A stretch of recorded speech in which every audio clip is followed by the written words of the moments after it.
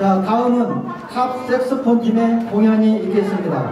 연주자는 서강렬의 칠명으로 연주곡은 고향역과 붉은 없는 각달제를 연주해 주시겠습니다. 큰 박수 부탁드립니다.